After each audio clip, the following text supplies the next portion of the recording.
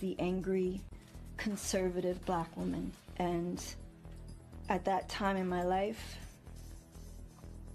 it was uh, who I was. And I realized in 2016 that anger is unsustainable and it will destroy you. And you know, what people don't know is that I made a lot of mistakes.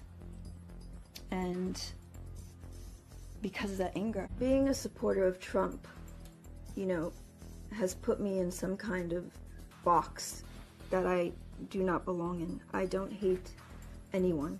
I don't, you know, I, I don't know where that comes from. And, well, I, he's not the president.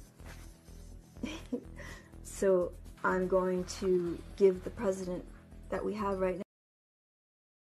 Show yourself to be a phony. Yes, for sure. You know what I mean? And that's what these, you know, a lot of people are doing these days. Um, don't support the phonies. Support the real. You know what I mean? How can these people be talking about how they're so real and they don't care about our communities?